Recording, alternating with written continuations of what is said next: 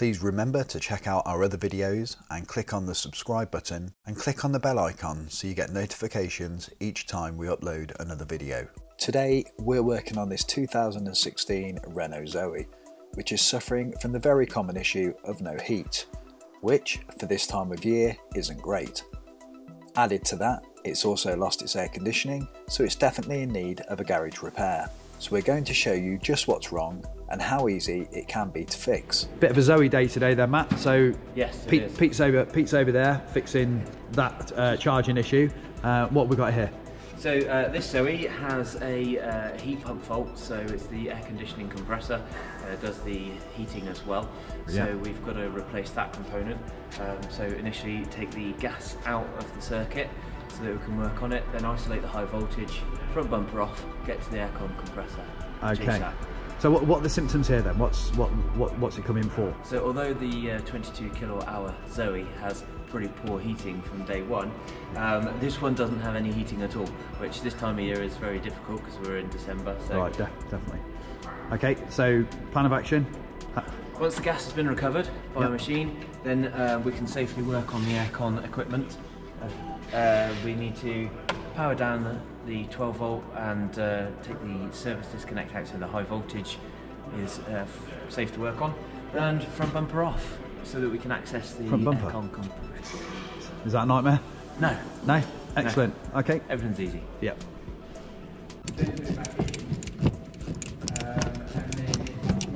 That looks quite cheeky to get into that, Matt. Yeah, it's just a bit awkward, but nothing's impossible.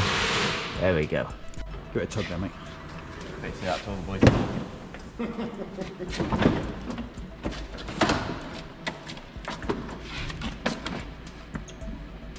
That was nice and easy, Matt.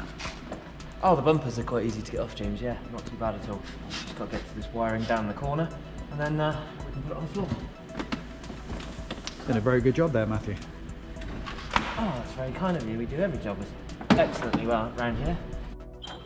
All right, Matt. So this is compressor off. Yeah, compressor off. We wanted to have a look at what's going on in there. We know we can't get any of the internal components, uh, so that's why we replaced the whole unit, get the customer back on the road. Yeah. Um, but we always like to make sure that we confirm our diagnosis. So I've taken the cover off the front there, and as you can see, the internals of the compressor have all broken up on the drive section. So uh, you can't get any of that. It's all just aluminium. It's chewed itself to death. Oh dear. So uh, There's another bit over on the floor over there, which I'm that's not. right. Yeah, they're taking a battery out of the drive, but um, yeah, unfortunately, uh, if I could find some way of uh, fixing these, I'd rebuild them. But um, Yeah. can't get any of the internals. Yeah. Oh dear. I think now we'll just get the new compressor on. Now we've confirmed our diagnosis, and uh, yeah, get it customer back on the road. And this is the new compressor that's going to go on. These are over £400 from Renault, and that's 400 plus the VAT. So not a cheap component, but it's better to get a brand new one, and then you know the origins, and you you've obviously got the warranty with it. So, what? Where are we at now, then, Matt? 'Cause I can see Right. uh, a couple of pipes on here. Looks like you're gassing the aircon. Yeah, compressor's back on. Um, there's a protection unit over the high voltage wall wiring that's back on, little cover. Um, the pipes works back on, so I'm just going through the regassing process so that I can keep an eye on it um, with the bumper off. But uh, yeah, we've got a few other bits of trims to go back on, and then we'll be testing. Excellent. So that's bumper going back on.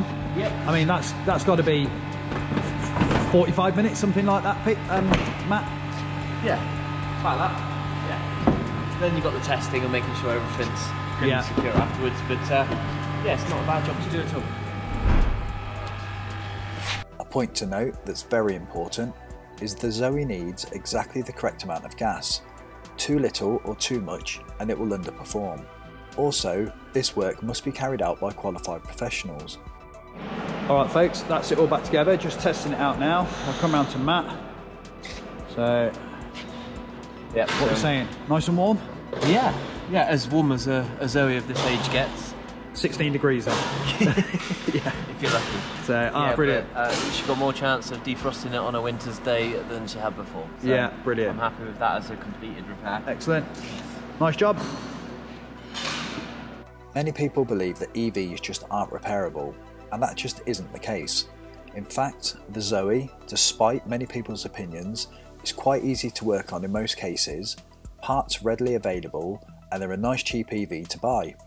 So, next time you're looking for a new car, this is one that is well worth considering.